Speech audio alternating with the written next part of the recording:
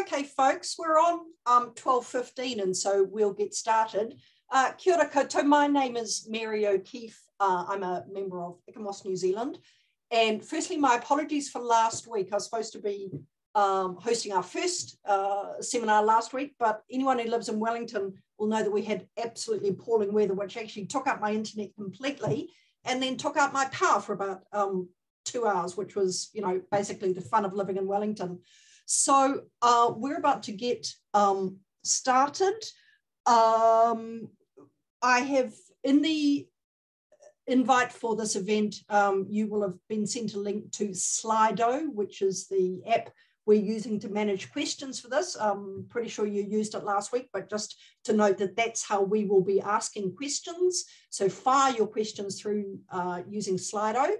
Um, and I'm now going to hand over to the chair of ICOMOS New Zealand, uh, Pam. Can you wave, Pam? Hello, there's Pam, uh, who is going to introduce our speakers today. Over to you, Pam. Thanks, Mary. Um, so welcome, everybody. Uh, if you made it to last week's talk, thanks for joining that one and welcome to number two. And if you've just joined us for today's one, uh, good. And please make sure you come to all of them because they're going to be all good. Um, so today's uh, topic is the digital realm and New Zealand heritage, bringing architectural theory and practice into the modern architect's workflow. Uh, the project that they will be presenting is actually uh, quite of interest to me personally as well, because the building one at the Unitec campus grounds was where the School of Architecture was. And I know it's not there anymore, which is really, really sad. Um, but there'll be a few people here, I'm sure, that may have also studied there. And if they're not, when this goes, when this um, is posted online for people to view, I will certainly be making sure that all my uh, peers during my study years will be uh, linked to watching this. So today's speakers are uh, member and newly appointed board member at that, uh, Dr. Renata Jadresin Milic. She's an associate professor at the School of Architecture at Unitec. And she's joined by Thomas Reutlinger, who's a research assistant at the School of Architecture for Unitec and the As-Built Digital, and Sian Singh, who's also a research assistant at the School of Architecture at Unitec. So this paper presents a case study, results of the Unitec research project called Digitalisation of Heritage in New Zealand, approved for the 2021 year. The project aims to present unknown, vulnerable, uh, and by vulnerable they mean in the process of degradation or transformation, uh, an abandoned historical heritage through a multimedia presentation on the one hand, and to set up information tools for the preservation, restoration, maintenance, and evaluation of the building on the other hand. It is based on the integration of traditional analog and instrumental uh, by digital methods of heritage surveying with an emphasis on using digital technology. And so on that note, I will hand over to, to our Dr. Renata to get the ball rolling. Thank you. Thank you very much, Pam. Thank you, Mary, as well. And kia ora, good afternoon, ladies and gentlemen, colleagues from Historic Places Aotearoa and ICOMOS New Zealand as well as the wide audience who kindly joined this initiative Heritage Bites. It is our really great pleasure to be included in this lecture series and to share what we did with you. Uh, my name is Renata, and I am architect and architectural historian who Pam introduced first. My two co-presenters and co-authors in the project are my younger colleagues, both of them former Unitec students and current young professionals, Thomas Reutlinger and Sian Singh. Uh, I just want to make sure that Tom is sharing the screen with us because I can't see the screen at the moment. So is it the situation? Yes. Is everyone yeah. seeing that now? I think we do. Yes. I'm, I'm Tom, by the way, everyone. Hi, Tom. Yeah. Thank you, Tom. So, so just with this first title slide, with title of our uh, talk, uh, we wanted to say that practically our talk responds broadly to the existing and we would say ongoing discussion between architects, architectural historians, architectural students, surveyors, engineers on the role of new digital technologies in architecture today and how have digital media and the technological revolution we have seen in the last decade and more altered what we employ in our work. More specifically with our project, how can the practice of dealing with heritage buildings in New Zealand be enhanced through the use of modern digital technologies? With the next slide, we are practically announcing our project and confirm that we examined these questions through this research project. It was approved for 2020, extended for 21, and now we have phase, third phase in 2022, and the belonging elective course in our School of Architecture. Pam shared with you what are overall project's aims and objectives, and that it is based on the integration of traditional research and instrumental digital methods of heritage surveying that have emphasis in the project. But I want to add maybe that for us it was important to have both academic and practical value in advancing knowledge about heritage in New Zealand, but to be useful for the end users as well, to people who will use our work and material we develop, hopefully. As such, the project practically aligns with Unitec organizational priorities by including students' engagement in the research directly, having connections with teaching, and creating of ongoing industry and community connections and partnerships. Practically as such, we propose that architectural heritage and history can and should be taught by doing and by starting from current events, what is that our community needs. So the second phase was practically what we are pre preparing to share with you today, includes digital recording and modeling of Unitec's Building One. What is the building? And in, in this and next slide, I think we wanted to show you some of historical photos of the building. Probably all who live in Auckland know that you know, it is a notable example of late 19th century institutional architecture. It still has intact elements from each of the periods of significant building construction. It is landmark building, and at the time when it was built, it was Auckland Psychiatric Asylum, from 1865 to 1992. It was the asylum. It, it was then purchased by Carrington Polytech, soon to be renamed Unitec Institute of Technology, where we work, uh, who refurbished the building to become Unitec School of Design and newly formed School of Architecture and Construction in 90s. Now, as a tertiary educational institution, this historic building practically converted first time to house now departments of architecture and design. And with its new program, it had new important now didactic function as again exemplar of architectural and social values of the past. In 2019, new change happened, and this building was purchased by the New Zealand government to become part of an affordable housing development that will comprise between 3,000 and 4,000 homes. So this is the heritage building. Heritage New Zealand lists the original building as category one heritage building. And there is recognition of its historical, social, cultural significance. The building is listed, but as we know, listing itself provides no guarantee of protection from demolition. The building was vacated in January 2020 and since then, the building practically sits unused and is in an abandoned state. And we again know that we don't want our heritage buildings to stay abandoned for too long. Moreover, the building is not earthquake proof. So although we acknowledge the importance and distinctive character of the place, the future of the building seems, and especially in 2020, seemed to be completely uncertain. On the other good side, we know also that Mana Whenua Tamaki and the Crown are development partners for that residential development on the site, and they do intend to make decisions on the future adaptive reuse and pre preservation of building one. We also know on good side, and we see on this slide, the community loves the building, wants to use it and bring it into the heart of the community. We saw that from the series of community events organized in 2021 by Point Chev Social Community Trust to inform the Crown and Mana Whenua's decision on the future use of Building 1.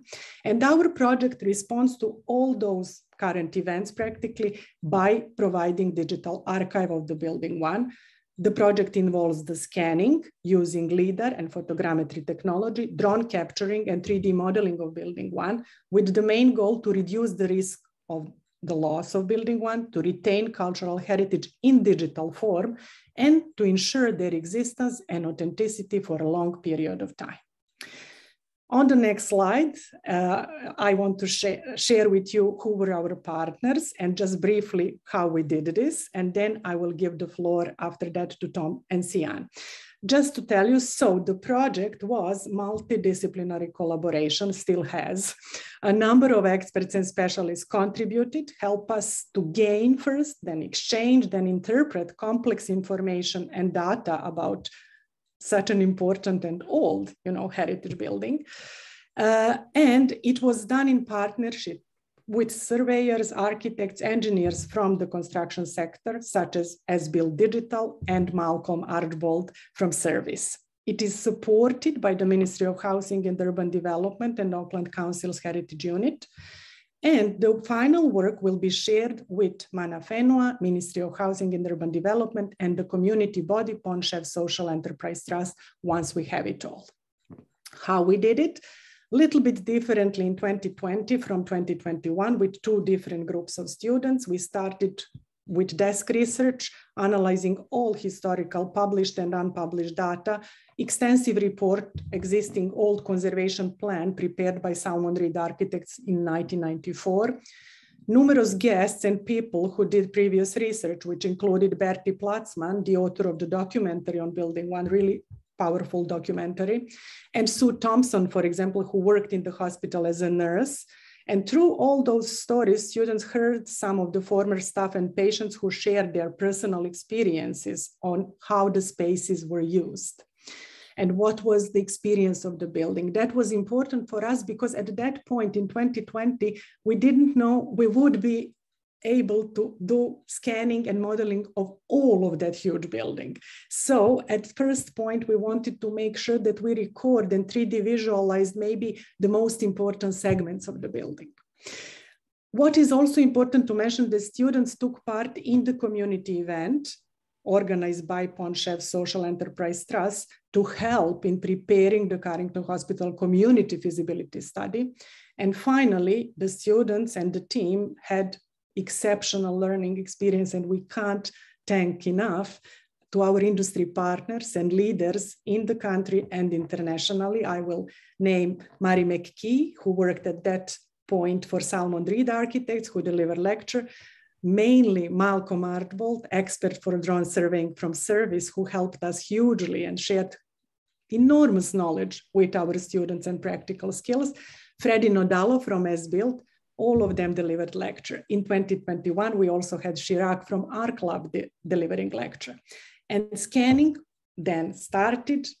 It was planned and organized as educational workshops. And I am now giving the floor to Tom, who will uh, take you through this part of the presentation. Well, thank you, Renata. Uh, hi, everyone, again. Um, yeah, so I'll run through the process. Um, all the tools and, and softwares we use to um, document building one and the process of how we did that and how we developed those assets into more traditional means. And, and Sian will pick up where what we want to want to do with those in the future. Um, so some of you might have heard of a point cloud before. Um, and for those of you who haven't, that is a asset created using uh, either LiDAR or photogrammetry scanning tools, either drone based or terrestrial. Um, and what you end up with is essentially thousands of points rendered in space that accurately depict the building um, in its current condition and to, to very high accuracies. And, and of course, you get that in the 3D space and you can interact with it in multiple ways. Um, so for us, we use terrestrial ground-based scanners uh, throughout building one, uh, courtesy of Asbuild Digital at the time, as well as uh, some stuff with Malcolm there as well. Uh, and this just screen just encapsulates um, the various steps that we've taken uh, and some of those um, different tools and, and, and phases that the process has gone through. But don't worry, we'll get we'll go in depth into this. Um, so, like Renata was saying, we started out those workshops. Uh, getting the students involved with the scanners inside building one and around the building as well. Students were able to see how uh, they worked, as well as uh, our experts explaining the technology about that, uh, as well as some best practice that works around it. Um, and essentially how those are working is you have that uh, laser scanner mounted to a tripod. You're taking that throughout the building, uh, giving it about two minutes to spin around, shoot out millions of lasers, um, and, and accurately record those distances to, to surfaces uh, back to the scanner. Um, and you're going to do that one scan at a time. Uh, but as you can see on the right, using the software built into the tools, you can start to link all those individual scans uh, by aligning the geometry. And eventually you're going to get uh, an entire building. There you can start to see that even the floor plan is, is starting to uh, become visible, even just as you're doing it live on site. And eventually, once you've stitched all those scans together through the process of registration, uh, you end up with an entire 3D model that you can interact with. Uh, here's just a screenshot of it essentially, um, but we'll, I think we're about to see something a bit more interactive here. So this is a mesh that's been produced from the drone model. Um, this is a complete 3D model of the entire building and site. Um, and yeah, you can, you can, and this is just a video, but you could interact with this like a 3D model, and we'll see a bit more of that later in the presentation.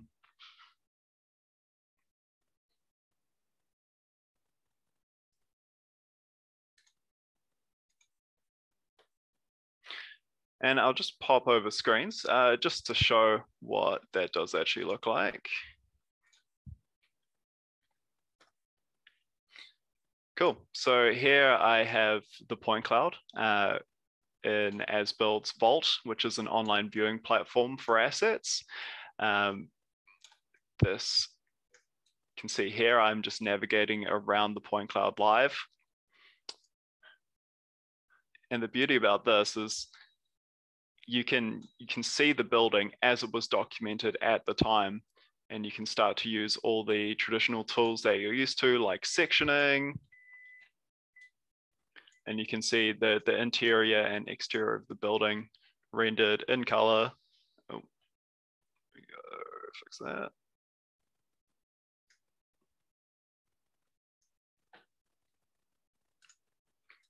I'll just fly around now as well.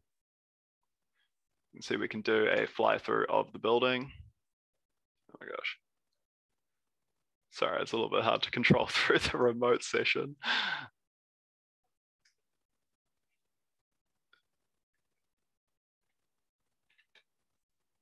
There we go, that's a bit better.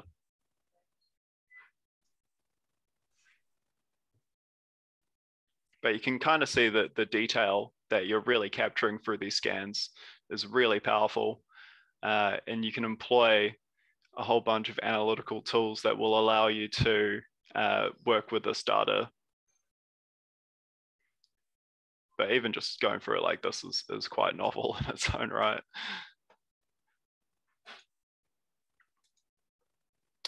Uh, yeah, so now that we have that data, we have to um, take that down into a workable state. And for us, that meant working with 14 odd students who were going to model the building.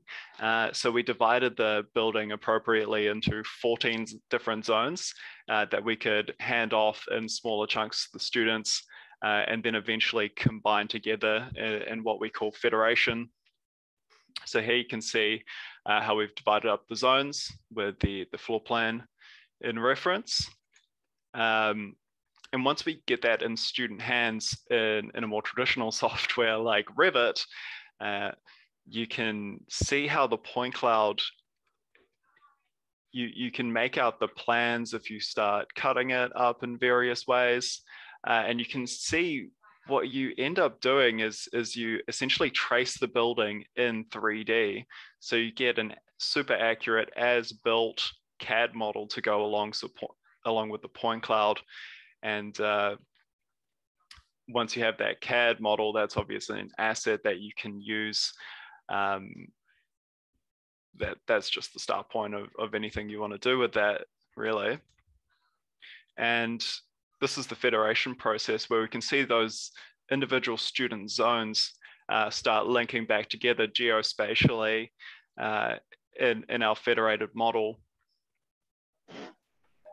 So at, at the end, even though we've divided it up into um, 14 different zones, every student was modeling off a geo-reference point cloud so that once you do load them back together, they are starting to, to populate uh, properly referenced to each other.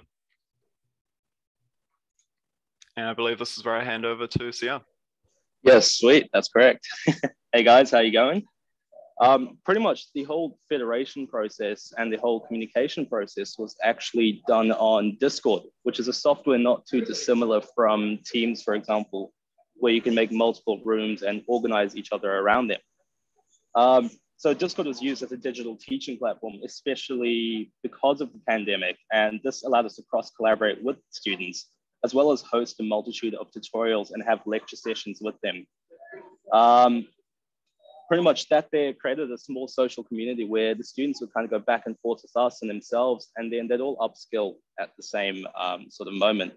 Through Discord, we also held those tutorials and recorded them, um, as well as doing a few other teaching sessions. And that just created a lot of teaching resources that we will later upload to our website that we're working on. But yeah, those teaching resources can be used by many, many other people and the public to just understand point clouds and model from them. Um, on the next slide, this cross collaboration was quite useful when students had to take their individual components, like how Tom was showing before in that federation component, and join them together. Since each model was a slightly um, different level of detail, for example, everybody you know had their own sort of modeling standards to go from. The students had to detail their models accordingly to match each other's um, models. So you had students who had more detailed models, some less detailed, and what ended up happening is everyone had to upskill at the same time and get to a really good skill level um, both individually, but as the whole sort of um, cohort. And you know, we found that the students just really upskilled really fast with all that support um, on Discord. And yeah, as you can see on the slide here, the final outcome of all these individual elements is a highly accurate floor plan of building one itself in its sort of um, merged state. Um, during the sort of modeling process too, the students learned many skills such as modeling in Revit, for example, and how to model an as-built piece of architecture to a certain level of detail, which is highly applicable to their sort of future careers as as-built and sort of these sort of designs become, I guess, a bit more common as they, and compared to what they previously were. Um, so besides just modeling things, the students also learned about the history of the site and found missing rooms almost where there'd be no data, for example. So when you do a 3D scan, you get all of these rooms that show up in walls, but you can very easily make out where there's a blank space. And a lot of students discovered missing rooms, missing walls and things like that. So from that, that you can kind of draw a narrative of the history of the site. Um, one of the student quotes by a student named Jenny Short, she titled this Discoveries, and I'll just read that out to you guys with only being in building one during the first year of my degree, I never had a chance to explore the entire building. I also had never been in the section that was allocated to me, which meant I was unfamiliar with the layout. So through this process, Jenny learned about the building that she never inhabited um, through the preserved digital space represented in a point cloud format. This highlights that sort of point cloud preservation, um, you know, allows memories and historic spaces which are now inaccessible or demolished to be experienced, giving opportunity to rediscover portions of our heritage through this digital medium. Um, on the next slide, the outcome of the sort of digital modeling, you know, obviously they learn how to model, um, but it leads to a highly detailed digital twin of the existing sites. So many assets can be produced from this here. For example, an amazing master's thesis project by graduate and fellow researcher um, Lorraine Kay, who used the base model in her adaptive reuse-based design for her uh, thesis, which created a strong cultural hub for the people of Pointe through the preservation and improvement of Building 1. So you can see those renders over there. She used the base model and then remodeled over that to come up with something a bit more interactive for the community. Um, it's also important to note that LiDAR scan preserves every bit of detail like you'll see on the next slides. So therefore, the lower detailed models with basic elements can be upgraded on a need-be basis. For example, the low detail model on the left was later transformed into a superbly detailed presentation model, which is on the right, showing off all the intricate elements of building one's architectural school staircase, which will be shown in the next slide also. So this was done by our research partner, Remo Ribinici, and he modeled a very important aspect of building one that a lot of the architecture students there would remember. It's the old staircase that leads downstairs and it's regarded with very high sort of heritage value. And you can see in the point cloud on the top left there, every bit of detail is captured and is able to be traced and modeled, as you can see in these sort of white box models that Remo has done. As well as in the next slide where Tom has taken a basic model of the federated student stuff and started to transform it and add more and more detail onto that there. So onto the next slide. Um, there are many more outputs that can be produced rather than just a digital BIM model, for example, for use of Accurate. So Tom will open up a Sketchfab link, and Sketchfab is just a digital presentation platform to which you can upload meshes and point clouds to, and literally share that with the public. So you know you can get really nice detailed models and share them with people, and that just makes the sort of profession a lot more accessible. You know, the whole preservation aspect, the whole architectural aspect, you can share that with the public with ease nowadays, and everyone can sort of experience it. This is just a small crop from the larger point cloud. But taking this year forward, you could imagine, you know, people putting on their VR goggles and walking through the site and stuff like that there. So all of this here can be, you know, preserved via the medium of point clouds.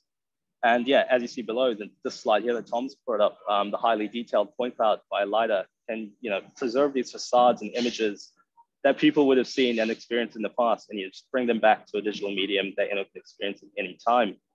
So that will bring me to my to the end of my part, and I'll hand that back to uh, Tom and Renata. Thank you, Sian. Thank you so much. Uh, what I wanted to also share with the audience before we go to the questions uh, is that, you know, uh, in terms of how students interpreted point cloud that we had and how overall um, uh, research needed to be done around that point cloud so that they understand it well we can have one separate talk only about that. You know quotes from students reports were just amazing. You know they are uh, talking about remembering to look at photographs of the building and constantly cross-reference from available material was important to uh, get an accurate modeling result. Then vertical section one close next to another to examine those non-existing rooms that they discovered through the point cloud that they couldn't see from the outside nor from the inside sometimes because you know some spaces were just built in and uh, all of that is really has its its own separate story but uh, to conclude maybe with three main messages from working in this project and previous project that I took part of in Italy, where I actually had seven of our New Zealand students in 2018 doing similar project with Italian colleagues. Uh, so also through conversations with colleagues in the country and internationally, and by working closely with students, I, I am confident that heritage as a topic and heritage preservation has an increasing interest in students. And I believe, why is this? One, likely due to its relevance to design, new design and existing building, and use of digital immersive technology that young people are very interested in. But also the retention of cultural heritage for meeting climate change and environmental emission targets are so important today. So the topics around heritage, adaptive reuse are in the center of conversations. And this last 2021 Pritzker Prize Award went to Anne Lacaton and Jean-Philippe Vassal, who have never demolish, they repeat as mantra, they give the name to their project, never demolish, never demolish what could be redeemed, make sustainable what already exists.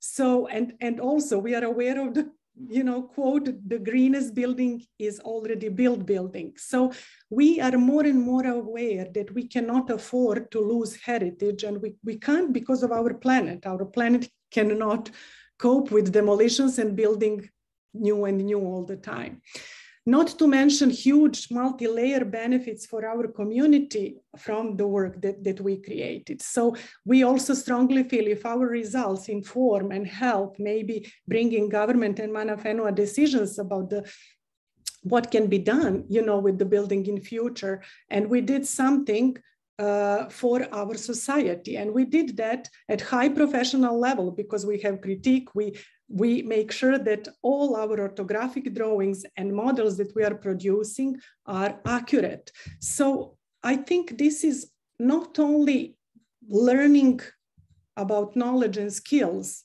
in our students, but also strong message for our students that they do have a role and that the society wants them to help and that they have huge responsibility, you know, which is also rewarding feeling that you serve your community well. And I think as schools of architecture, we really can do more and help more to our communities to keep our heritage, to help bringing decisions about that. And we are eager to do that. Our students are smart, young, full of energy, full of love for learning, and I think eager to engage with something like we shared with you today. So I think we would end here and, and hopefully uh, answer to some questions that we might uh, have in the meantime. Uh, thank you to the three of you. Uh, Tom or Sian, can I get you to stop sharing your screen at the moment? Thank you, just so we can sort of all see each other. So um, as I noted, we're controlling the questions through the um, Slido app. I have got uh, three questions sitting here. So the first one is uh, collaboration using the software sounds great and efficient. My golly, doesn't it just? Um, how do you see this working in the professional sphere between architects, engineers, clients, etc.? Um, and then I think the same person has added a follow-up question, and by extension to the above, do you know what the cost benefits would be of this modeling and collaboration? So yeah, the question is sort of how do you see it working and what would the cost benefits of this collaboration be? Uh, I, I, think I can answer that. Um, it's something I deal with on on a daily basis uh, with my work at Asbuilt. Um, so I, am a BIM coordinator um, by day and heritage research assistant by night kind of thing. Um, so yeah, having everyone operate off the same datum is is hugely important and, and, really makes that collaboration between um, different trades so much more convenient and efficient and accurate and, and really takes out that human uh, error aspect of it. Um, you were dealing with a project usually where uh, each in, in, different engineering trade is working off their own model. Sometimes they're working in CAD, some people are working Revit, some people are working in Tekla. Um, just being able to have, firstly, a, a central um, data environment that everyone can bring that into, but a, a, solid standard that everyone bases their templates off is, so um, hugely important to actually facilitate that kind of environment where you have good visibility over what the other people are doing um, so you can coordinate your work around theirs and vice versa. And and it, it, it really saves the person on site at the end of the day who's looking at a construction drawing and um, saves them having to do some some on-site ingenuity um, as, as well as you get that digital twin of of the finished product as well which is useful for for all kinds of people Um, just to sort of elaborate on that, in terms of the, sorry, what was that question again about the cost? Could you just reiterate that? Yeah, so the um, questioner was asking, what are the cost benefits of this kind of modeling and collaboration? Right, right, I see, okay. I mean, yeah, I guess Tom. Oh, Sian. Sorry, yep, I'm back now. Yeah, I guess Tom's also spoke on it a little bit, but um, just to elaborate on that, it's pretty much the same cost as a traditional survey, but you're getting a lot more data also because you're getting all this 3D stuff. Obviously, it's all um, sort of coordinated, as Tom said, on that datum, but you're getting a 3D piece of data and a BIM model with it usually. Some of this is also something I do day to day. And you just get a lot more detail. You know, you can pick up all the crevices, all the gutters and everything quite easily and get that thing modeled in. So you actually end up saving a lot more money. You don't have to go back to the site as many times, especially if your site's very far away. For example, if you're in Auckland and the site's in Queenstown or something, you don't have to constantly go on site and reference photos. You can get everything to a very high accuracy right off the bat from that model. And you know, it saves time and money down the line instead of going back and forth with RFIs because measurements are off and everything. So there's a lot of benefits to it. And it is actually being quite greatly adopted right now in the industry. Would it, would it also uh, be fair to say too that there's potentially international savings in the sense that you may have a particular expert in some aspect of the building or the technology or something, and they live in, I don't know, Moscow, London, whatever. Um, again, rather than having to fly there, so saving some some carbon miles, they can exactly. I guess absolutely. Data. Yeah, exactly. I mean that that is the whole idea behind, I guess, you know, building information modeling too, and then supplementing that with point clouds and visual information. You can very easily just upload something in the Google Drive, that point cloud, send it off to them, and they can do their work on it and then link it back to you. And because it's all coordinated in the same datum, it literally just layers on top of each other and snaps on top. So it's a it's a pretty, I guess, a useful process, saves a lot of time, and you know just makes makes everything a lot more streamlined in an industry where there's so much going on. Um, there's one further question on Slido, and I can see that there's a question on the Zoom chat, so I'll come to that too. Um, the questioner asks, have you used Polycam? And if so, what's your opinion of it? I think that'd be more for you, Sian. I've never used Polycam actually. Um, I don't even know what that is. Sorry. uh, uh, assuming is it something kind of like Pix4D or or I imagine it's okay, a it's a, tool. That's yeah. A, yeah, it looks like a lidar sort of three. No, I haven't. We have our own internal softwares that we end up using. Um, that just works pretty streamlined with our workflows. Um, but I'd, I'd, say give it a go. It looks like it's pretty well documented. Um, the way that we usually use them is we'll, we'll pop them into a software like Revit or something and do a model out of that there. And we'll do all our measurements and stuff in that rather than off the raw point cloud. Because what happens with the point cloud is, um, you know, all these older buildings too, none of the walls are plumb and a lot of the things are skew. So you don't, you know, getting measurements up there is a little bit hard. So it's good to rationalize things in a way. And yeah, just modeling it helps that and then doing your measurements of that. Yeah. So for this project in particular, uh, we, we had the benefit of, of using um, Leica software, so Cyclone right the way through. Um, but I understand there's there's so many more options for doing point cloud registration on these days. Um, yeah, the, the the whole market or, or, industry for it has really exploded in the last uh, three years or so.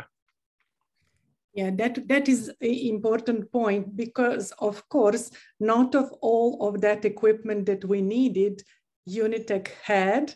Unitec currently has, for example, uh, Leica TS total stations uh, and we can establish control points around the building, but we still need a laser scanner to collect the point clouds from the interior and exterior of the building. And this is what we got from our industry partners. Mm-hmm. Also regarding software, we do have Autodesk license, Revit license, BIM 360 teams to, to hold central model. But we, for example, don't have Cyclone to do the point cloud processing. So this is where our industry partners helped us to practically get what we need so that we model from it because you know raw data we can't just use so it was really really fantastic complexity in everything that we had to deal with thank you now i'm just looking there's a couple of questions in the chat So the first one is just noting it's an amazing presentation. My golly, isn't it just?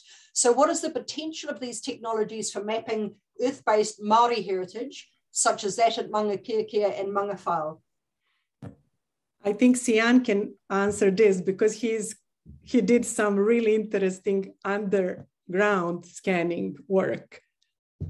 Yeah, the company I work for, um, there's an artist who works with us named Chirag Jindal. So I, would I'd recommend you guys search him up if you can. Um, he does a lot of, I guess, cave scans underground, like under Auckland, and um, that they all relate to Māori heritage, Māori burial grounds and stuff. And there are a lot of projects at the moment. Sorry, guys, I'm just going fast.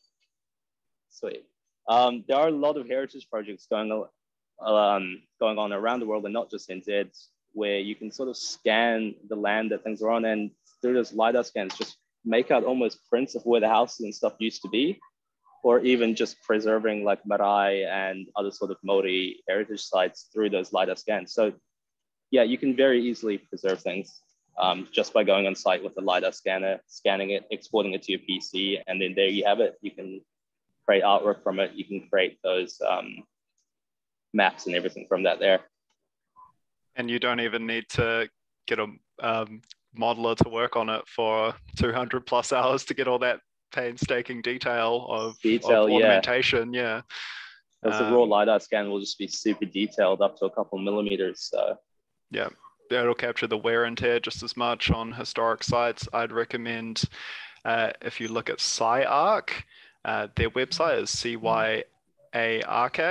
Um, they're great. They do heritage sites all across the world um, and, and have uh, fantastic 3D modeling uh, views where you can look at all of those as well as virtual walkthroughs. Uh, they're really cool. They've been operating for a long time, so they have a, a very big database of heritage sites. Um, if I can just be a bit cheeky and jump in with my archaeologist hat on, um, certainly increasingly uh, this kind of technology is being used to, to map and manage um, archaeology. So we often use LiDAR data just to get landscape information, plus also some really wonderful um, interpretation projects are happening now using um, scanning uh, technologies such as this to, to uh, present sites, to almost digitally reconstruct how it was, that kind of thing. It's wonderful, really, really exciting space. Um, there's a question there also, uh, which you guys can probably see. Was there a conflict between the point cloud being out of plumber alignment and Revit model? Ab absolutely. Um, we know in CAD software it likes to work in, in nice square units. Uh, that's obviously not the, the case in reality in building one. Um, but there is a bit of a judgment call and, and capturing what, what detail is actually worth capturing in that regard versus what you're actually going to use the asset for. Um, so that's that's a whole can of worms in, in level of detailing, which has um, New Zealand has a whole standard for. Um, but yeah, uh, for those of you who are interested, we, we only took it up to LOD 200, uh, which is about the second level um, out of five for that, uh, where you don't you, you don't capture all the eccentricities uh, Sian wants to say goodbye. He has to see his client right now. So yeah, sorry about that, guys. But it was lovely talking to you guys, and I will catch you guys at the next conference also. Thank, Thank you, so much. Yeah. Uh, Cheers, guys. I, and I would like to join to answer with Tom previous question because I think it's very important. You know, this is where we have fantastic, you know, experience from students talking about their learning and you know that confusion between revit doing one thing but building showing another thing and you know uh, it was immediately obvious, they say, when we began modeling that building one was not perfect, some of the youngest ones say. The floor weren't always flat, sometimes featuring a slight slope. The walls had different thickness and varied greatly in their alignment. So we have plenty of material. And then what they did to cope with that and how practically they modeled the building as built and not by using tools already pre-offered in uh, computer programs. I think if anything, having the Revit model, um, well, comparing the Revit model to the point cloud is is probably the way you're actually going to only notice all those uh, what I call eccentricities in the building, like the warped floors, the bowed walls. Um, you're really only going to notice that once you put up a straight edge to it. Um, so yeah, again, that that's that's another powerful tool of, of being able to see those two things at the same time. You will notice those and they'll stick out like a sore thumb. Okay, folks, we're at one o'clock, so we probably need to call this quits. I, frankly, mm. I could go on talking about this stuff for ages because it is so fascinating, and it's obviously, uh, you know, the future of our profession of being able to do all of this kind of stuff. So, huge thank you to our three presenters today. That was absolutely fascinating. Um, next week's seminar is Dr. Kurt Bennett, um, who's going to be talking about uh, maritime cultural heritage um, of the HMS Buffalo, which um, again, as an archaeologist, I just happen to know is a really, really cracking good project. It's been a fascinating maritime archaeological prog- project. So uh, with a bit of luck, see you all there next week. And in the meantime, have a good week. Thanks, everyone. Bye now. Thanks. Thank you so much. Thank Bye. you.